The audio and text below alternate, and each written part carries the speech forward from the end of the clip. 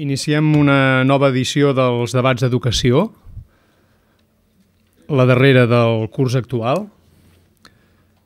Per als no habituals voldria recordar que Debats d'Educació és una iniciativa de la Fundació Jaume Bofill i dels Estudis de Psicologia i Ciències de l'Educació de la Universitat Oberta de Catalunya, que vam iniciar l'any 2003 eh, i que, per tant, es troba en el moment actual en la seva sisena edició. No voldria deixar d'agrair en aquest eh, moment d'inici al MACBA la possibilitat repetida que ens dona de portar a terme aquest debat en aquest eh, magnífic espai. L'objectiu de debats d'educació eh, és promoure un fòrum de discussió i de sensibilització entorn dels temes d'actualitat i de fons que considerem clau en relació a les qüestions a què ha de donar resposta al sistema educatiu davant els reptes que li planteja el nostre complex context social, polític i econòmic.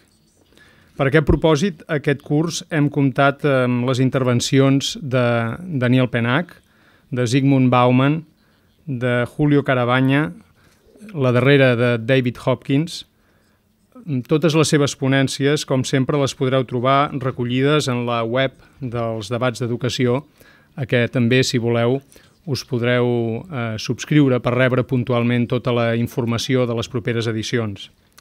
Avui, amb el mateix objectiu, mantenint la mateixa mm, proposta dels debats, eh, tenim el privilegi de poder comptar amb la presència destacada del professor Robert Castell, director de l'Escola d'Alts Estudis de Ciències Socials de París, que ens ajudarà a interpretar la relació entre escola i treball en temps d'incerteses com els que estem vivint. Però serà l'Anna Jolong, la responsable de l'àrea d'educació de la Fundació Jaume Bofill, qui us presentarà amb més deteniment el nostre ponent d'avui. Bé, com, com ens deia en Josep Maria Mominó, el Robert Castell és director de l'École des Études, eh, és director d'estudis. Eh, jo crec que és un dels sociòlegs francesos eh, probablement més citat i, i que ens és referent eh, per a molts en l'àmbit de les transformacions del món del treball i en l'àmbit també de les transformacions de tot el que es refereix a la protecció social i els drets eh, socials de l'individu. Les seves eh, anàlisis sobre la qüestió social eh, tenen com a referent potser més eh, significatiu la publicació l'any 1995 de la Metamorfose de la qüestió social, une chronique du salariat, i després eh, en Robert Castell ha fet altres publicacions eh, que ens ajuden a comprendre en les seves anàlisis de la qüestió social quines són eh, les transformacions que estem vivint en el món d'ara i aquesta fragilització de la cohesió social. Tenim un llenguatge eh, que integra moltes vegades eh, terminologia que és terminologia Castell, en certa manera, quan parlem de la desafiliació, quan parlem de dinàmiques de vulnerabilitat social. De fet, és ell qui ha introduït eh, tot aquest llenguatge per ajudar a comprendre la realitat i el que està passant ara. Si hagués de dir coses per destacar del, de la figura i, de la, i del treball del professor Robert Castell, jo diria que una de les coses més interessants és en la seva aproximació sempre a la voluntat de fer referència a la història i els coneixements que ell té i el que ha arribat a estudiar del que és el passat i la història per poder comprendre el present. Eh? Ell afirma i creu que no podem comprendre eh, les transformacions actuals i els moments i els temps que vivim sense una perspectiva històrica eh? i per tant de dinàmica i de transformació al llarg del temps. I un altre tret eh, destacable eh, que té relació amb la conferència d'avui i en el moment de demanar-li que ens vingués a un debat d'educació, jo crec que és el seu rigor acadèmic, que fa que en Robert Castell sovint digui jo no sóc especialista d'això, no em preguntis sobre això, eh? no és el meu tema li hem demanat si, des de la seva perspectiva de sociòleg del treball i de la protecció social ens podia il·luminar o ens podia donar o aportar llums al que està passant en el món de l'educació. I ell ha insistit que no era especialista en el món de l'educació, però tot i així estem eh, convençuts que la seva aportació ens pot ser interessant per entendre també quines transformacions s'estan donant en el món de l'escola i en el món de l'educació que estan clarament vinculades amb les transformacions que està vivint la nostra societat en d'altres àmbits. Fer referència també a l'últim llibre d'en Robert Castell, que és La montée des incertitudes, on eh, planteja aquests eh, reptes que ens planteja la crisi del treball i la crisi de la cohesió social i una societat cada cop més individualitzada. Deixeu-me dir també que quan eh, se li pregunta al Robert Castell sobre el futur, moltes vegades ens diu que, no, que ell no, no és profeta, però jo crec que sí que en el que eh, aporta la seva lúcida anàlisi ens ajuda a comprendre, si més no, eh, la realitat eh, del present amb aquesta perspectiva històrica, però també apuntant per perspectives de futur que ens poden eh, ser interessants i que ens poden ajudar doncs, a avançar i a millorar. Perquè el que fonamenta també l'anàlisi i la voluntat de comprendre d'en Robert Castell és, en certa manera, doncs, el, el fer de la societat una societat més solidària, més interdependent i més justa. Moltes gràcies, doncs, al professor Robert Castell per haver volgut participar avui d'un debat d'educació i, sense més, doncs, li donem la paraula.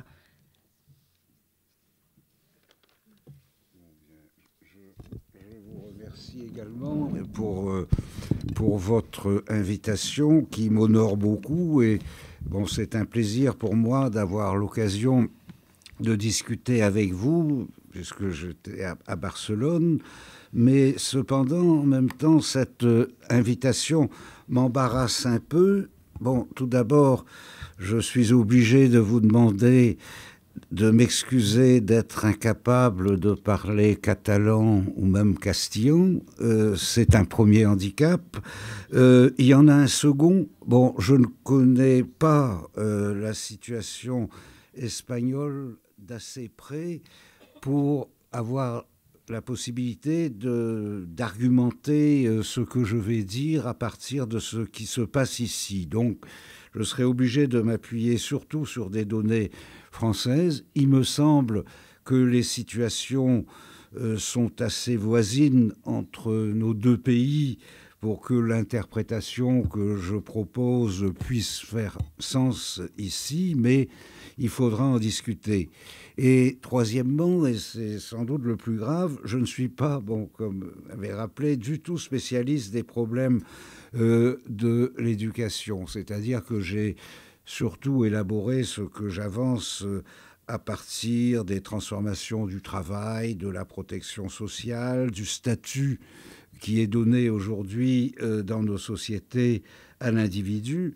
Alors, les questions de l'éducation sont prises dans ces transformations, mais elles ont aussi leur spécificité et je suis incapable d'analyser ces spécificités en elles-mêmes. Alors, ce que je peux essayer de faire de mieux ou de moins mal, c'est d'abord de présenter un cadre assez général, euh, c'est-à-dire un processus de transformation qui, à mon avis, affecte d'abord euh, principalement l'organisation du travail, et, mais se répercute dans différentes institutions, dont l'école. Mais euh, je pense qu'il faudra plutôt laisser à notre discussion euh, le soin d'expliciter plus précisément ces répercussions sur l'éducation. Alors, bon, donc, d'ailleurs, en, discutant euh, un petit peu avec euh, Anna Jolon, là, nous avons pensé intituler ce que je vais vous dire La crise de la cohésion sociale, travail et école, ou école et travail dans un temps d'incertitude, avec les réserves que je viens de dire sur l'école. Euh, je voudrais donc proposer une interprétation de la crise que nous traversons en tant qu'elle défait, je pense, nos certitudes, hein, qu'elle dérégule les structures d'organisation et de transmission auxquelles nous nous étions habitués car euh, en parlant de crise, bon, je ne cours pas après euh, l'actualité, car il ne s'agit pas seulement euh, du cataclysme financier qui a éclaté l'année dernière et dont tout le monde parle aujourd'hui. Il me semble que ce qui est arrivé il y a à peu près un an, c'est un épisode particulièrement spectaculaire et particulièrement dramatique d'un processus qui a commencé en amont. Et il y a euh, une trentaine d'années, effectivement, on a commencé à parler de crise euh, en Europe occidentale vers le milieu des années 70, peut-être d'ailleurs un petit peu plus tard euh, en Espagne, compte tenu du retard dû à l'héritage du franquisme. Mais on a effectivement commencé à parler de crise euh, vers donc, les années 70-80, mais on n'en a pas euh, compris euh, tout de suite l'importance et j'y reviendrai tout à l'heure. Mais alors, crise donc, mais qu'est-ce qui est en crise? Enfin, crise de quoi? Il me semble que c'est une crise de la cohésion sociale elle-même, ou plus précisément de la forme spécifique que, que la cohésion sociale avait prise euh, à la fin du capitalisme industriel et que je vais préciser un peu. Euh, je fais l'hypothèse d'une grande transformation, pour parler comme Karl Polanyi, de l'ensemble euh, de notre structure sociale qui a commencé il y a une trentaine d'années. Et c'est cette transformation, c'est, bon, pour le dire d'abord très schématiquement, la sortie du capitalisme industriel, hein, avec la remise en cause des formes de régulation auxquelles il était finalement arrivé vers les années 60-70, et le passage à un nouveau régime du capitalisme, plus sauvage, qui impose euh, de plus en plus euh, une concurrence exacerbée au niveau international avec euh, la mondialisation et en particulier l'emprise de plus en plus grande du capital financier international. Alors, bon, cette crise ou cette transformation affecte à peu près tous les secteurs de l'existence sociale et les principales institutions euh, dont euh, l'école, mais je disais que je ne peux pas avoir la prétention de couvrir euh, tous ces secteurs et je suis donc obligé de faire un choix et j'insisterai beaucoup sur les transformations intervenues d'abord dans l'ordre du travail, parce qu'il me semble, j'essaierai de justifier, que ces transformations de l'ordre du travail sont un peu comme l'épicentre euh, de cette crise qui se ensuite alors se répercute euh, bien au-delà et d'abord je crois dans le secteur des protections, de la protection sociale. Et je pense qu'il y a une relation profonde entre crise du travail et crise euh, de la protection sociale que j'essayerai d'expliquer, d'expliciter un peu. Mais il faudrait aussi euh, peut-être aller un peu plus avant, parce que je crois que la crise du travail, la crise des protections déstabilise un nombre croissant d'individus qui n'ont plus les conditions de base de leur indépendance économique et sociale.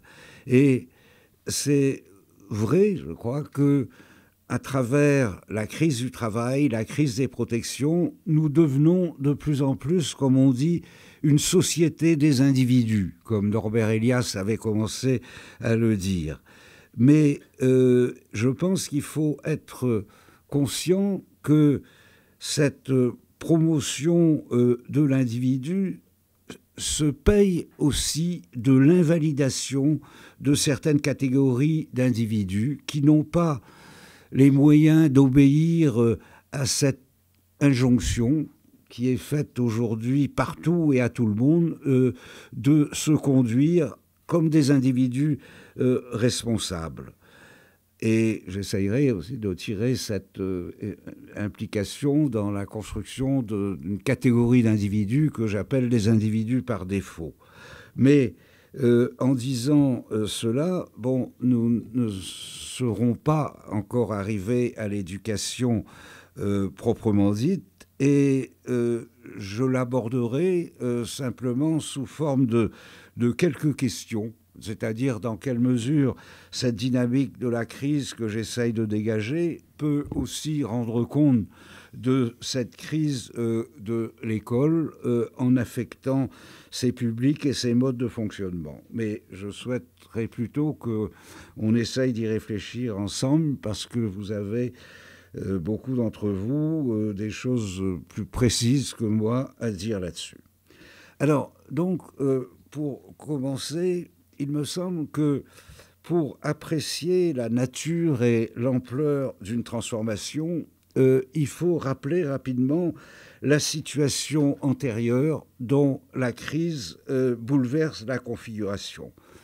Quelle était donc la forme euh, de cohésion sociale qui prévalait avant que cette crise, entre guillemets, ne se déclenche vers le début des années 60 Bien, je crois qu'on pourrait dire que le capitalisme industriel euh, lui-même avait euh, commencé à s'implanter euh, d'une manière très sauvage. Voir par exemple la condition des prolétaires de la première moitié du XIXe siècle, hein, à la fois misérables et méprisés, et perdant littéralement toute leur vie à la gagner dans une insécurité euh, sociale totale. Cependant, à la suite d'une longue histoire euh, de euh, plus d'un siècle, une certaine forme d'équilibre avait été trouvée. C'est ce que l'on a appelé le compromis social du capitalisme industriel qui s'est affirmé dans ces années 60, début des années 70, et euh, avec, euh, c'est-à-dire un compromis, une certaine forme euh, d'équilibre entre les intérêts du marché, du capital d'une part, qui permet la rentabilité et la compétitivité des entreprises, et d'autre part les intérêts du monde du travail qui accepte ou qui se résigne à la subordination salariale et donc au régime euh, du euh, capitalisme, mais qui bénéficie euh, en contrepartie d'une certaine sécurité et de certaines protections. Hein. un salaire qui est censé être à peu près décent, ce que nous appelons en France le SMIC, enfin salaire minimum interprofessionnel garanti, un droit du travail contre l'arbitraire patronal et des protections assez fortes, droit à la santé, euh, droit à l'indemnisation du chômage, euh, droit à la retraite, euh, etc. Alors, bon, ce compromis était un peu boiteux, comme tous les compromis. Hein. Il n'empêchait pas les conflits, il laissait subsister euh, des injustices et des inégalités euh, qui pouvaient être très importantes, mais en même temps, euh, il assurait à la majorité de la population, du moins dans les démocraties d'Europe occidentale, une protection sociale étendue. Et les conditions finalement minimales d'une certaine indépendance économique et sociale.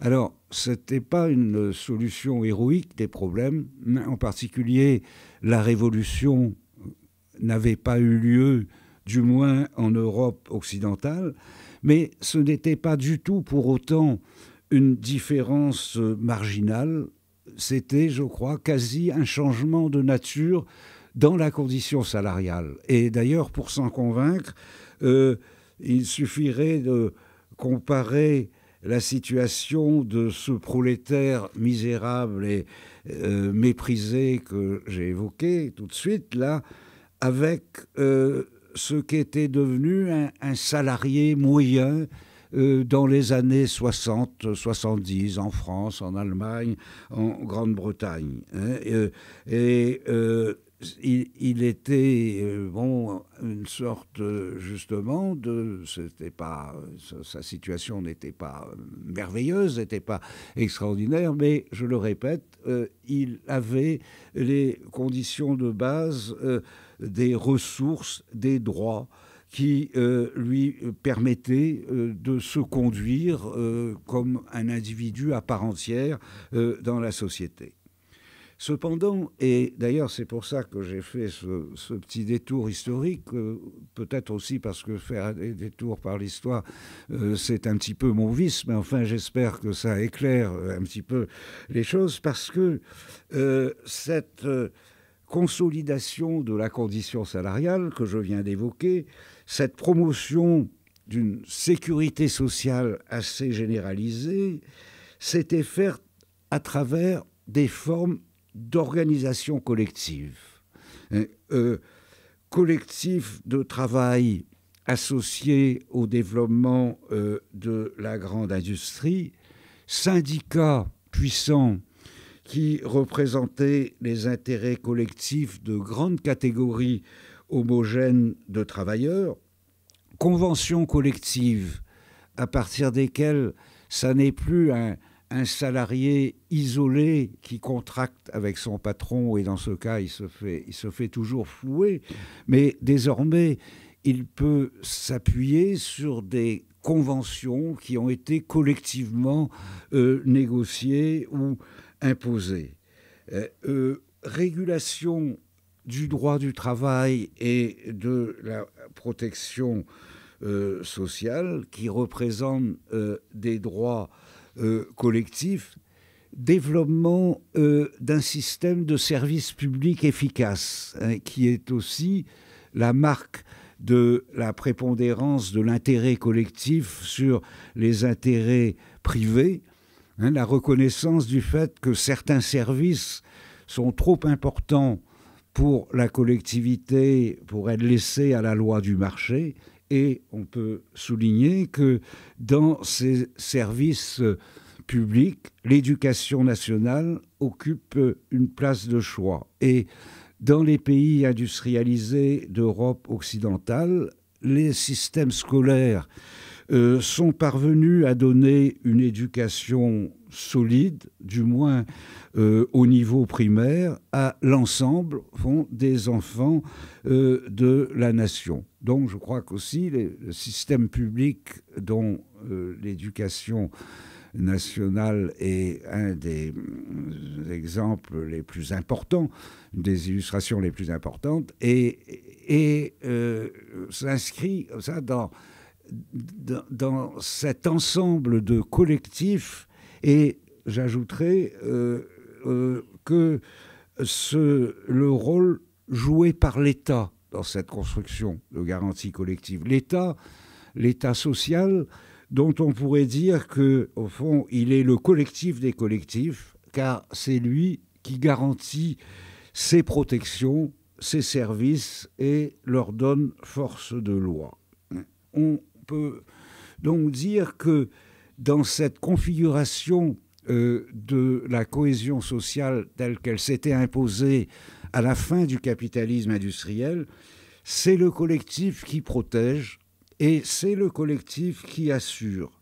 C'est parce que les individus sont pris à différents niveaux dans de grands systèmes de garantie collective qu'ils disposent de ressources, de droits qui sont donc ces conditions minimales de leur indépendance sociale. Et je crois que c'est à partir de ce background hein, que euh, l'on peut euh, comprendre la nature et l'ampleur de la crise telle qu'elle se déclenche dans les années 70. Euh, bon, le capitalisme industriel était parvenu à ses formes relatives d'équilibre collectif. Le nouveau capitalisme euh, qui se met en place à partir de ces années 70, début 80, euh, va ébranler et à la limite dissoudre euh, ces formes de régulation collective. Parce que, et je crois que c'est le point sur lequel il faut insister, il impose euh, une dynamique de décollectivisation euh, ou de réindividualisation. Et bon, c'est vrai d'abord au niveau de l'organisation du travail, où on assiste, et ça continue de nos jours, hein, à une individualisation croissante euh, des tâches euh, de travail qui exige, dit-on, la mobilité, l'adaptabilité, euh, l'aptitude à faire face au changement. Et c'est en même temps l'éclatement de la plupart des collectifs de travail. Et même, par exemple, dans ces grands bastions du capitalisme industriel, comme les usines de construction euh, euh, automobile, euh, par exemple. le travail se fait désormais en, petites unités qui sont censées gérer leur propre production. Elles font appel à des travailleurs temporaires, à des intermittents. Euh, elle pratique largement euh, la sous-traitance et donc les, anciens collectifs de travail dont le taylorisme était le paradigme hein, sont cassés hein, et le plus souvent les, employés, les travailleurs sont renvoyés à eux-mêmes et mis en concurrence les uns par rapport aux autres euh, ou les uns contre les autres. Hein. Mais je crois que la même mise en mobilité euh, s'observe sur le plan des carrières professionnelles qui également sont de moins en moins inscrites euh, dans les régulations collectives de l'emploi stable. Il faut souvent changer d'emploi, passer par des alternances d'emploi et de non-emploi, se retrouver parfois au chômage. Et je crois qu'on pourrait dire d'ailleurs que euh, le chômage de masse et la précarisation des relations de travail sont sans doute les deux grandes caractéristiques nouvelles qui surplombent désormais aujourd'hui euh, le monde du travail et qui sont tout à fait différente de la situation qui prévalait euh, il y a 30 euh, ans, caractérisée par le quasi plein emploi et par l'hégémonie d'un statut de l'emploi à temps complet hein, et fermement encadré euh, par le droit du travail et la protection sociale. Et c'est évidemment un changement fondamental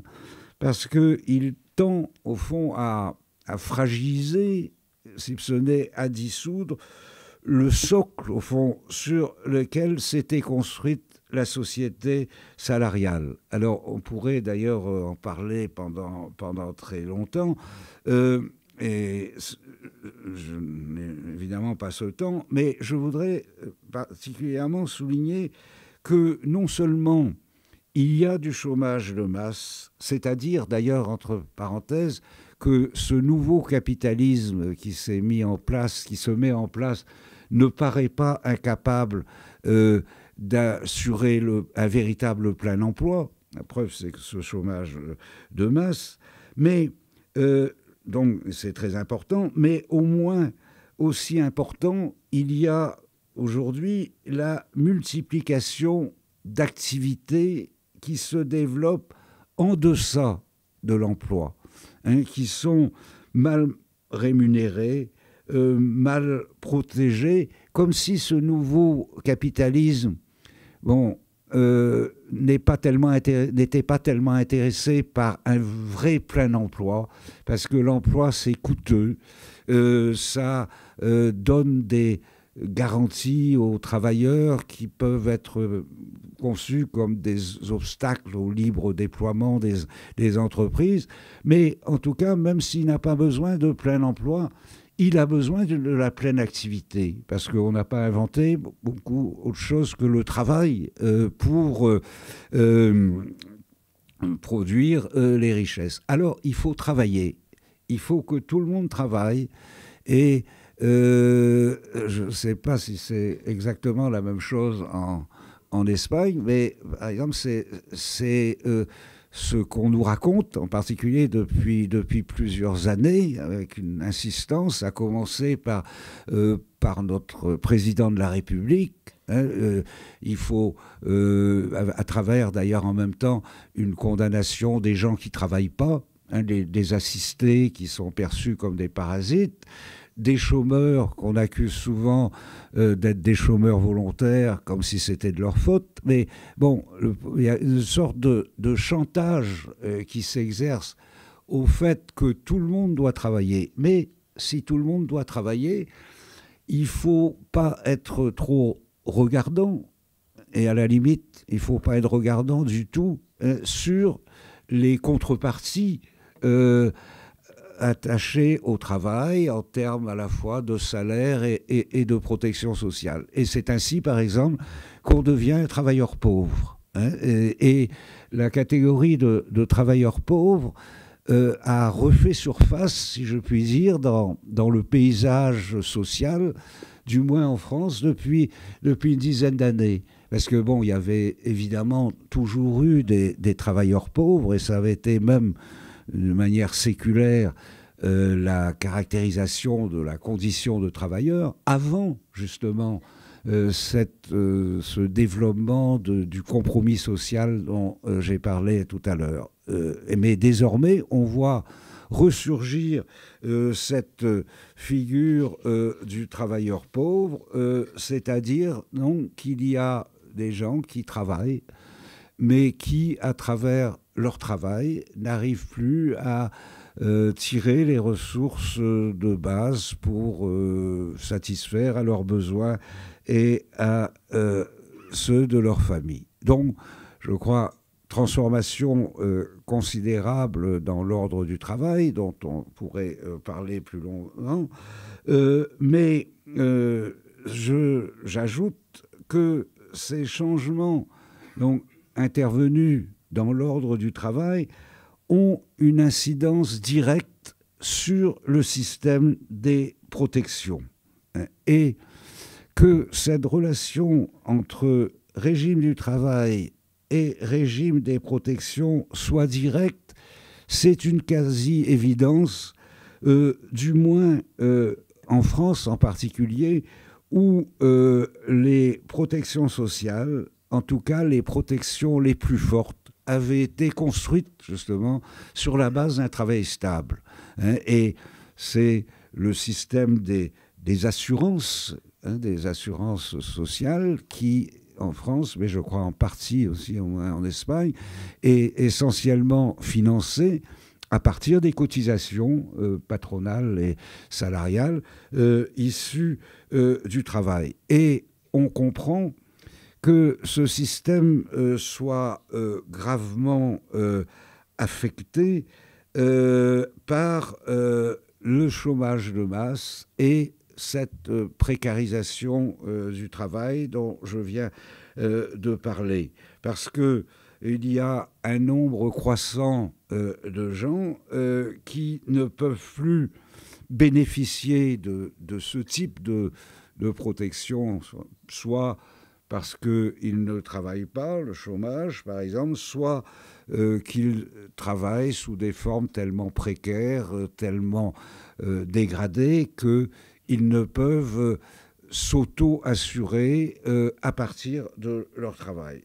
Et c'est pourquoi, et je pense que ce n'est pas un hasard, à partir, euh, en tout cas en France, mais il faudra discuter éventuellement des corrélations avec l'Espagne, mais en France, c'est à partir du milieu justement des années 75 que on a vu se multiplier un autre type de protection qui obéissent à la logique des minima sociaux, hein, dont le, revenu minimum d'activité, dont vous avez euh, sans doute entendu parler, ce qu'on appelle le RMI, euh, est euh, particulièrement caractéristique, mais je crois qu'il faut ajouter toute une nébuleuse de mesures, hein, ce qu'on appelle les politiques d'insertion, la politique de la ville, le traitement social du chômage et une foule de mesures euh, dites de lutte contre la, euh, précarité euh, et l'exclusion sociale, dont je suppose que vous avez au moins partiellement l'équivalent en Espagne. Et alors, je crois qu'il faut remarquer que, d'une part, évidemment, ces protections sont inférieures à celles qui avaient été construites à partir euh, du travail, mais aussi qu'elles sont accordées euh, sous conditions de ressources, comme on dit. Euh, c'est-à-dire que leurs bénéficiaires doivent montrer qu'ils euh, sont dans le manque. Enfin, ils, ont besoin de ces prestations parce que euh, ils sont en deçà du, régime commun des échanges alimentés par le travail. Alors, je ne dis pas ça d'ailleurs du tout pour condamner ces, mesures qui sont utiles et, même nécessaires pour des personnes en grande difficultés.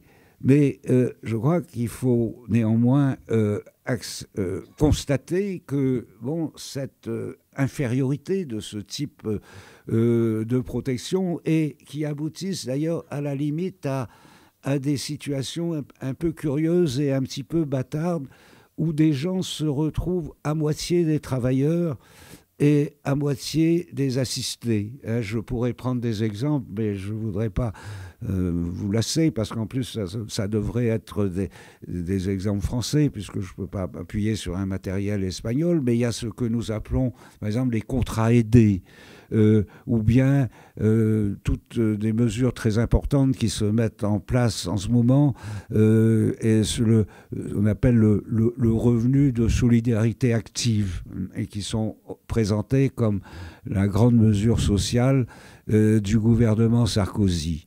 Bien, ça veut dire que on incite des gens à reprendre du travail, mais évidemment, c'est souvent euh, des quelques heures par semaine, euh, de façon ou bien ou bien pendant euh, pendant six mois, éventuellement renouvelable, mais pas nécessairement renouvelable. Et donc des gens bon travaillent un petit peu, j'allais dire, hein, sont des demi-travailleurs ou des quarts de travailleurs ou, des, salariés, et pour une part relèvent pour l'autre moitié, par exemple, de leurs revenus euh, de, des deniers publics, de, de la solidarité euh, nationale. Alors là, encore une fois, je ne dis pas ça pour condamner euh, ce type de mesures, ce serait un peu, un peu désinvolte parce que ces gens, évidemment, ils en ont, ils en ont besoin et ça peut les, aider. Euh, mais c'est quand même une, dégradation euh, tout à fait considérable, euh, à la fois par rapport au statut de l'emploi, et voyez comment ça, ça, s'articule, et aussi par rapport à un système justement de, protection construit à partir du travail. Et on pourrait peut-être traduire cela en disant que on assiste à une certaine euh, remarchandisation du travail et euh, une, euh, une, certaine remarchandisation de la protection sociale également. Hein. bon, je crois qu'il faut ici, enfin, faire, enfin, ne pas, ne pas avoir des affirmations trop brutales. S'agissant de la protection sociale, c'est pas une marchandisation directe. Hein. on ne vend pas euh, ces euh, protections euh, sur un marché comme un produit commercial. On ne peut pas vendre son, son droit à la retraite, par exemple, sur un marché. Mais je crois qu'on peut constater que ces protections inconditionnelles qui étaient tout à fait en dehors de la logique du marché, comme le droit à la retraite sont de plus en plus concurrencés par cet autre type euh, de protection qui relève euh, de la logique des minima sociaux et qui sont euh, de plus en plus livrés justement sous, sous condition de contrepartie je suppose que, que, vous devez connaître l'équivalent de ça, parce que c'est d'ailleurs des, choses qui nous viennent d'Europe, hein, des, trucs comme ça. Ce que l'on appelle l'activation des dépenses passives. Euh, l'activation des dépenses passives, ça veut dire qu'on ne devrait plus accorder automatiquement des ressources ou des revenus. Euh, il devrait y avoir toujours une contrepartie euh, de la part euh, du bénéficiaire. Autrement dit, il faut que la personne euh, que l'on aide donne quelque chose en retour, fasse un effort, ceci pour la faire s'activer, pour qu'elle ne soit pas un consommateur passif de prestations, un simple assisté. ce qui part certainement euh, d'une bonne intention, parce que c'est jamais bon euh, d'être un pur assisté, mais il faut constater en même temps que c'est l'introduction d'une logique marchande euh, dans les politiques sociales. Hein. c'est du donnant-donnant, hein. pas de prestations sans contrepartie.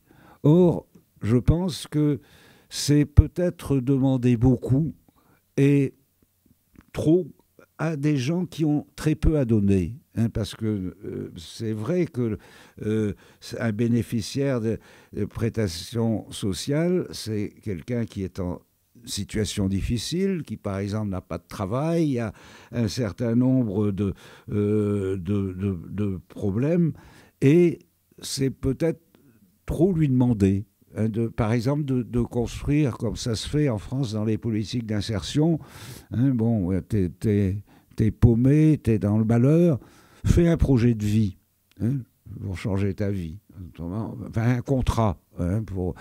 On ne demande pas ça tous les jours à, tout le monde, parce que c'est. Et même, on ne le demande pas souvent à, des gens qui ont euh, des positions assez stables, assez assurées. Et je pense, mais en même temps, je, donne ça euh, à, euh, discuter, évidemment, mais que donc cette, introduction de, la logique de contrepartie, c'est donc l'introduction d'une logique marchande euh, dans un, espace qui, à mon avis, ne devrait pas être celui-là.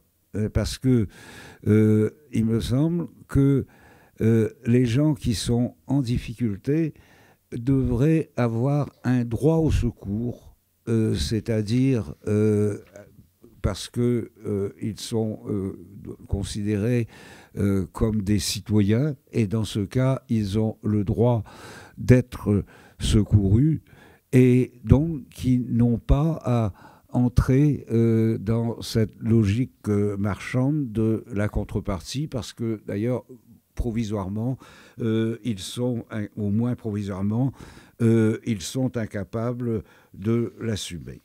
Alors, bon, en tout cas, je soumets évidemment, parce que je souhaiterais qu'on ait une discussion, euh, ça, pour qu'on puisse en discuter.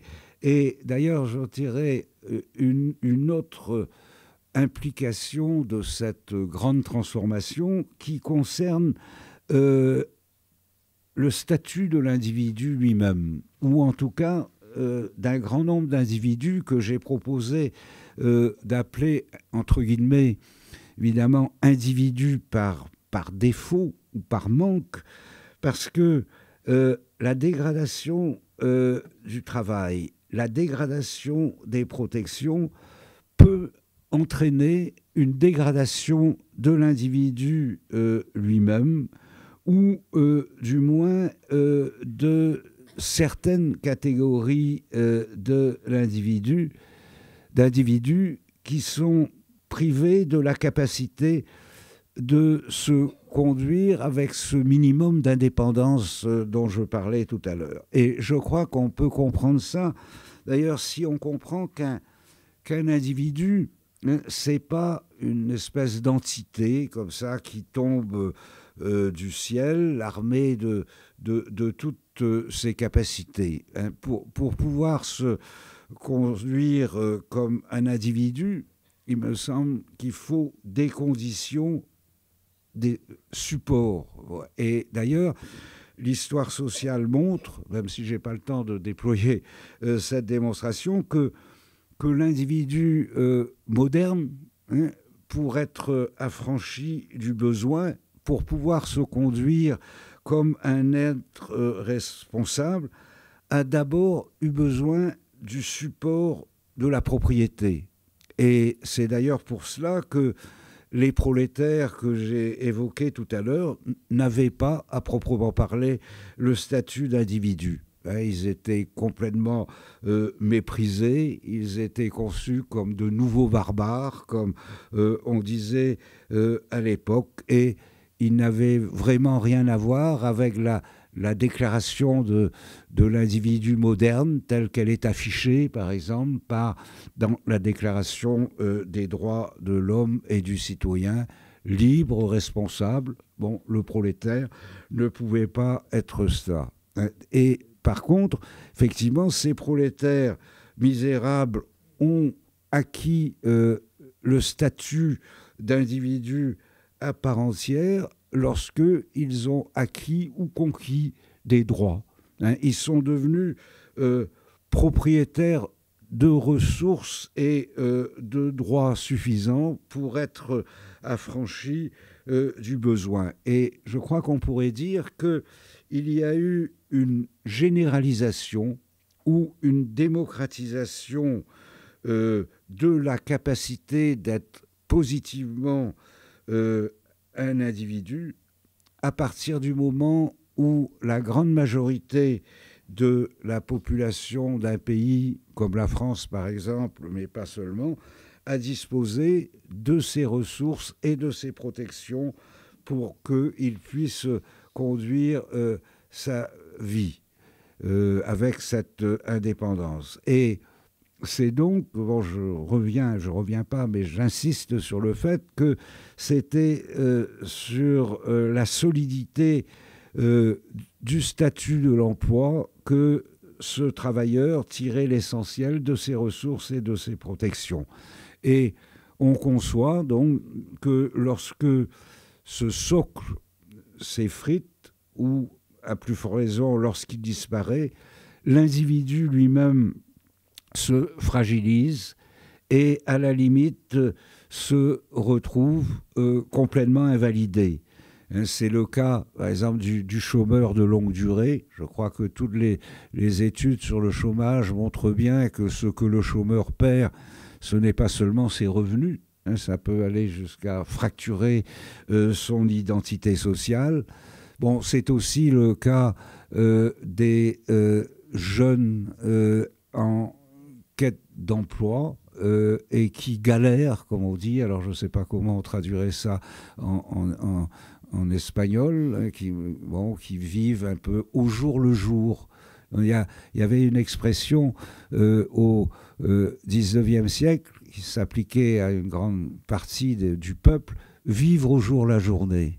Et je crois qu'aujourd'hui, dans nos sociétés, il y a de plus en plus de gens qui vivent au jour la journée et donc euh, qui sont euh, des,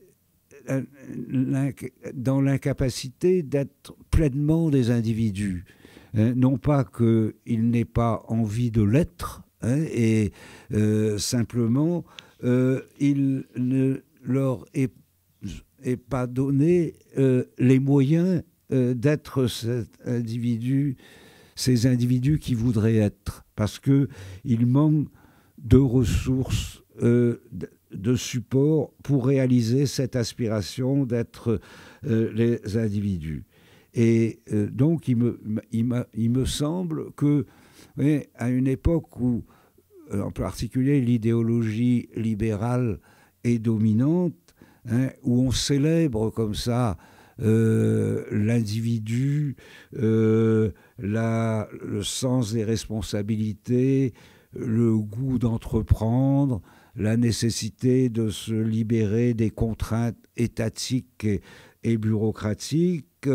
Euh, bon, il, faut, il faut interroger euh, cette, euh, cette aussi idéologie dominante. Enfin, parce que, bon, moi, personnellement, je, je pense que l'individu est, est bien la, la valeur de, de référence de notre société et que être un individu libre et responsable dans la lignée d'ailleurs de la Déclaration des droits de l'homme et du citoyen est, est, un bel idéal, et peut-être même un idéal euh, indépassable, euh, mais seulement, sociologiquement parlant, euh, ça reste souvent un idéal, parce qu'il y a des manières problématiques d'être individu, un individu, et même des situations, et elles sont sans doute de plus en plus nombreuses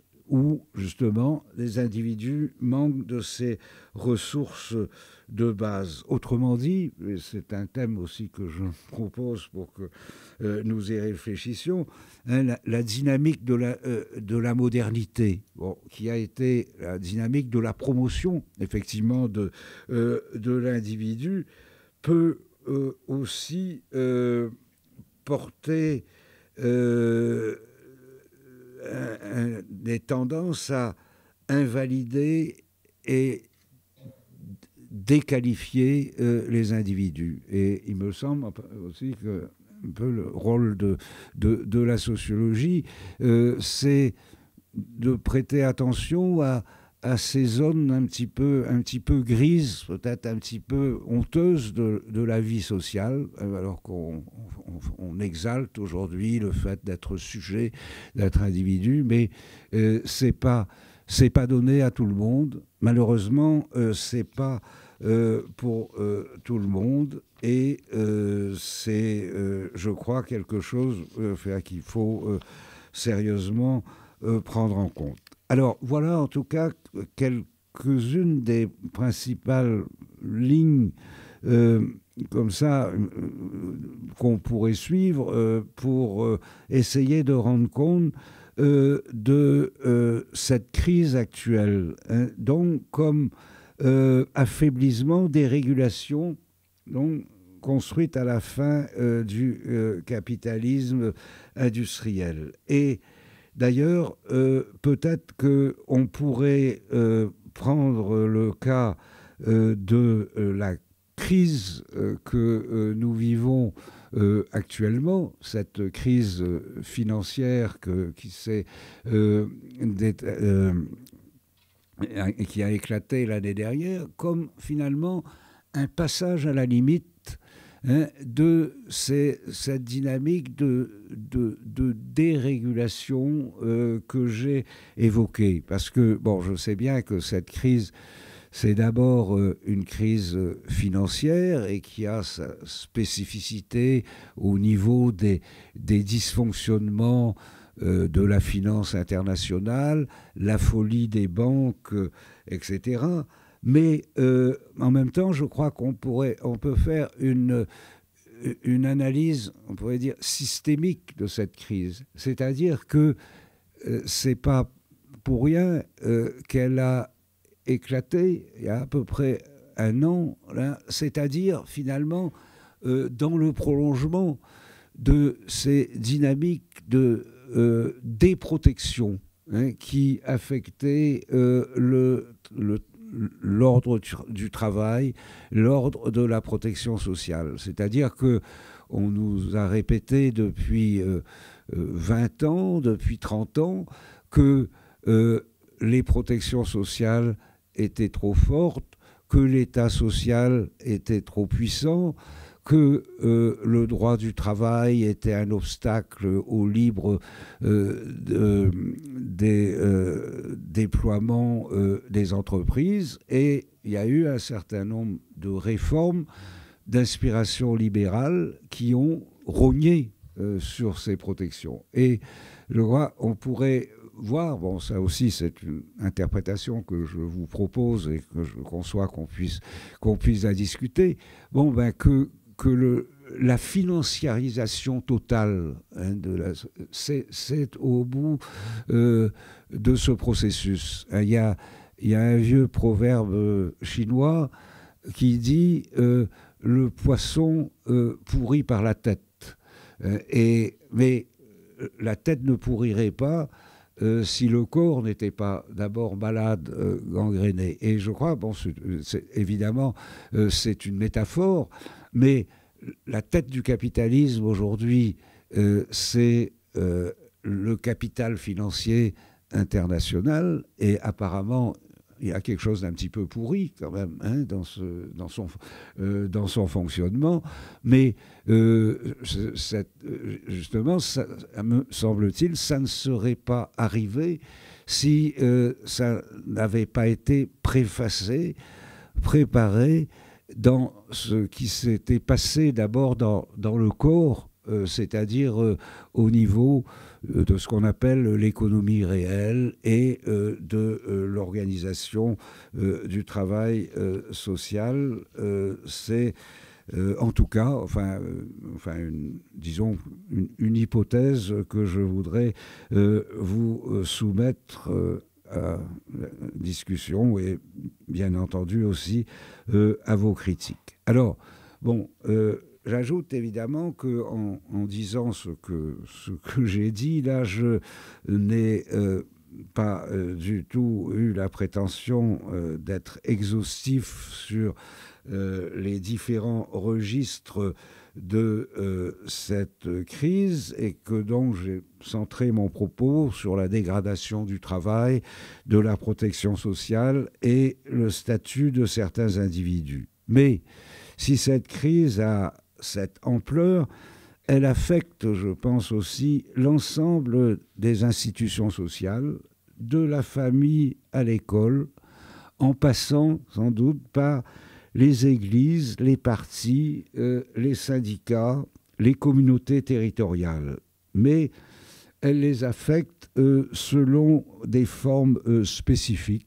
Je crois qu'il faut analyser pour elles-mêmes parce que heureusement ou malheureusement, il n'y a pas d'esprit encyclopédique qui puisse couvrir tous ces champs et c'est pourquoi il y a des spécialistes de ces différentes questions et en particulier euh, des sociologues euh, de l'éducation. Euh, et je ne peux pas prétendre prendre cette place.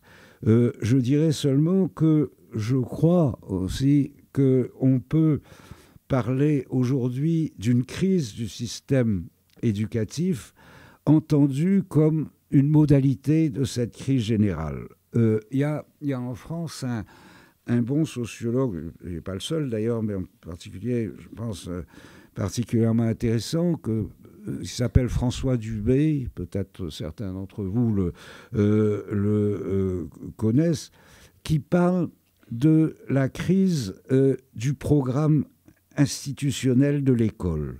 Je crois que de fait, le rôle de l'école, bon, en particulier l'école républicaine en France, enfin l'école euh, euh, publique, laïque, gratuite et obligatoire, a été fondamentale euh, pour construire l'unité nationale. Et ce serait d'ailleurs peut-être une, différence importante avec, avec l'Espagne, qui, pour le meilleur ou pour le pire d'ailleurs, rend, je crois, dans une grande mesure compte de cette espèce de, centralisme et d'homogénéité de la, de la société euh, française. Mais alors, euh, François Dubé parle du déclin de l'institution euh, scolaire pour décrire les difficultés croissantes que rencontre l'école pour réaliser un tel problème. L'école a, l'école moderne, a de plus en plus de mal à avoir un rôle homogénéisateur. Et je crois, n'étant pas, comme je le disais, euh, spécialiste, je crois qu'il faudrait renvoyer ici aux analyses, par exemple, de François Dubé, mais d'autres sociologies de l'éducation. Euh, j'ajouterais, euh, en ce qui me concerne, que j'ai pris conscience de la pertinence de ce type d'analyse à l'occasion d'un travail que j'ai fait euh, sur les banlieues et sur le traitement euh, des minorités ethniques en France. Et il me semble que la, situation scolaire euh, dans les banlieues françaises illustre bien cet échec actuel du système scolaire à imposer une culture commune à des jeunes qui appartiennent aux milieux les plus défavorisés et qui sont souvent d'origine immigrée. Hein. et les taux d'échec scolaire, la proportion euh, des jeunes qui quittent l'école euh, sans aucun euh, diplôme montrent bien que, en tout cas dans certains espaces, l'école est impuissante à jouer ce rôle de homogénéisateur que j'évoquais euh, tout de suite. Et que, au fond, on pourrait dire que euh, la logique scolaire, avec euh, son idéal de traiter à parité tous les enfants, de leur assurer les mêmes chances de réussite, bon, ce fonctionnement est percuté par des facteurs de, de dissociation sociale, des, des antagonismes d'origine euh, ethnique. Et il semble que l'école ne peut plus se contenter euh, de s'adresser à tous les élèves d'une manière euh, indifférenciée. Et c'est d'ailleurs ce qui a donné lieu à la, création de ce que nous appelons en France les, les zones d'éducation prioritaire, hein, les, les ZEP, hein, qui euh, mettent dans ces zones euh, défavorisées, comme les banlieues, euh, des moyens spéciaux pour essayer de, de faire de, de, la discrimination positive euh, à l'égard euh, de, euh, de ces jeunes. Et il me semble que ces, ces entreprises sont extrêmement intéressantes et il vaudrait la peine d'en discuter.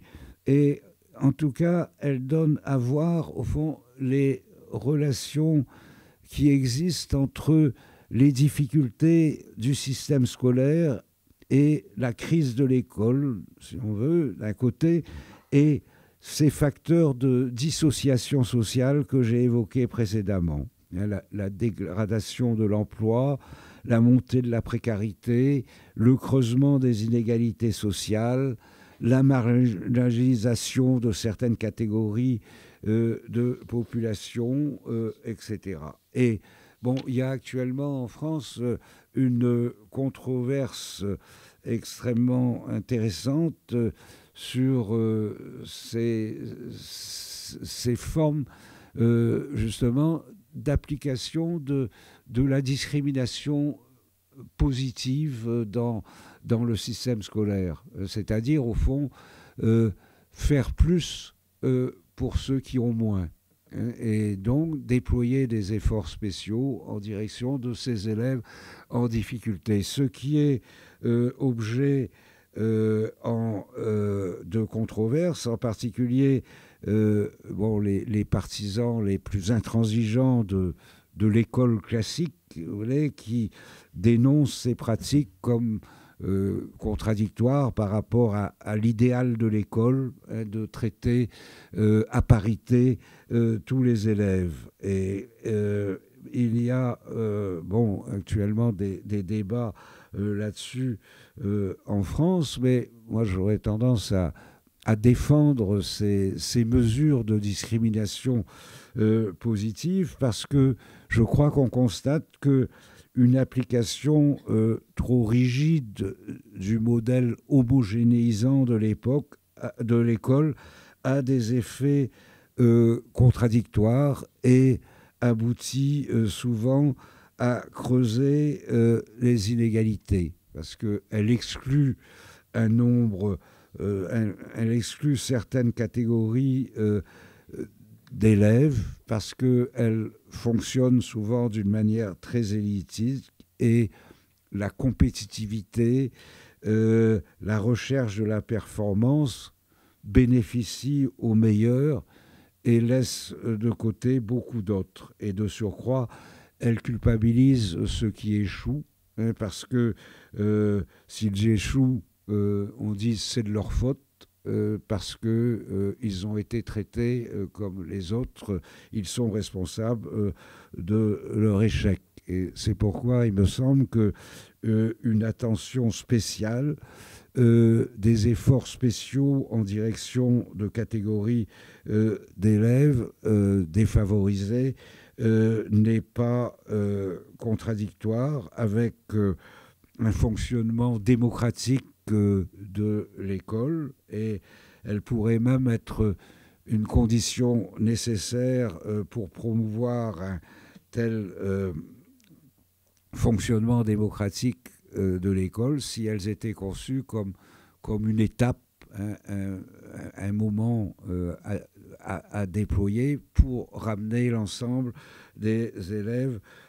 au régime commun. Mais bon, j'avance cela tout, sous toute réserve et pour euh, discuter, pour susciter euh, la discussion, que beaucoup d'entre vous sont plus aptes que moi pour la faire avancer. Et bon, je m'en tiendrai là, enfin, en m'excusant euh, de ne pas avoir donné une place plus grande à l'école, mais bon, je vous avais prévenu hein, que je ne pouvais pas le faire, mais je souhaite seulement qu'à partir de ce que j'ai dit, il y a matière euh, à poursuivre la, discussion, y compris sur ce point. Et en tout cas, en attendant, je vous, je vous remercie de votre attention.